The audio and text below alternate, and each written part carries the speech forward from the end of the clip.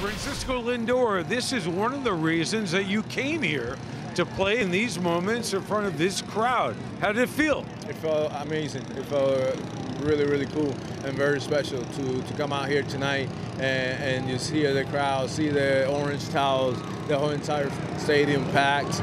Um, it was electric. It was definitely electric. Hey, you got the party started with that home run. Uh, what did that do for the guys in the dugout?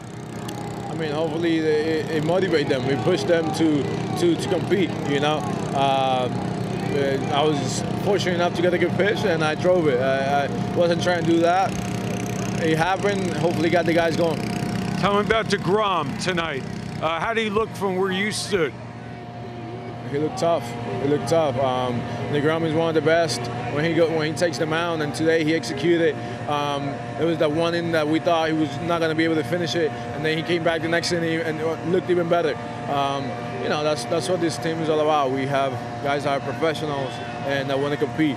And in order to win in the postseason, you gotta you gotta compete and you gotta be able to turn the page. And finally, Chris Bassitt, what does he bring in Game Three that you like? I mean, a lot of expertise. He's been around for a while. Um, he he has a lot, a lot of different pitches. Um, and he he executes. So I'm looking forward to seeing him execute and, um, and seeing the fans um, embrace him tomorrow. Do or die. You ready? Yes, sir. See you tomorrow.